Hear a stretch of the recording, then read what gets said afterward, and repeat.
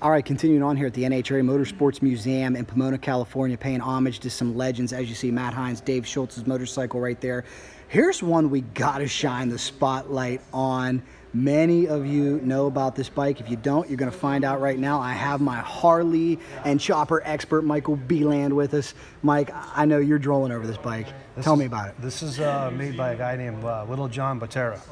Uh, he started in the hot rod industry, building funny car frames. Then he got into the street uh, street rods in the early '90s, late '80s, early '90s, and he was one of the forefronts of billet wheel technology. He built billet wheels for hot rods. That's how he made his name. He started in the wheel company, mirrors, uh, anything that I build aluminum CNC machine. He was on the forefront of that. This uh, little Softail has a billet aluminum swing arm, a billet outboard primary belt drive, billet foot controls, billet handmade levers, billet handmade mirrors, sunken one piece control holders. We got billet buttons integrated into the handlebars, handmade handlebars.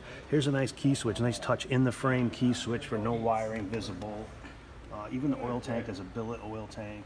What year was this motorcycle built? Uh, late 80s. Late 80s. Yep. This is a homemade tree. He's also holding an upside down fork. This gentleman was just incredibly ahead of his time, way wasn't he? his time, yeah. He's actually using a cable to keep it clean, and the cable will go down underneath the gas tank to activate a hydraulic master cylinder to run the double brake up front.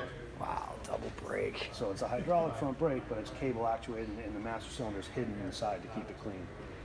A, true pioneer, a true uh, front runner here. Yeah. How many people do you think copied off of these designs and Oh, used them? everybody, everybody, yeah, everybody copied his stuff.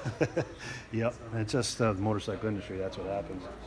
It's a gorgeous piece of history here, and it's a well-deserved enshrinement here in the NHRA Museum, Pomona, California. So much technology, as Mike pointed out.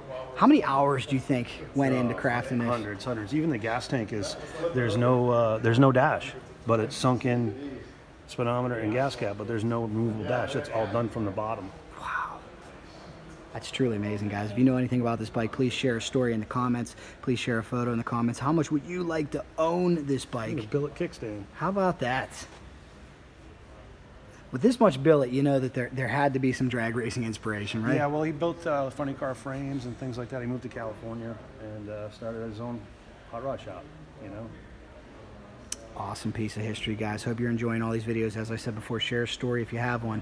Make sure you subscribe to Cycle Drag on YouTube and you like cycledrag.com on Facebook for all the coverage for beautiful bikes like this. You know if it makes Michael Beland roll. it's got because you've had some pretty nice Harleys. So Yeah, I built a few bikes, but this is one of the classic bikes that's kind of started it all type thing. how much would you love to own this? Yeah, I wouldn't touch it. I'd leave it here. Yeah. That's the way. That's the place where it belongs, right? Yeah, so it'll- other people, some people might walk right by it, but people that know know. Awesome, guys. Hope you enjoy it. It is a piece of history.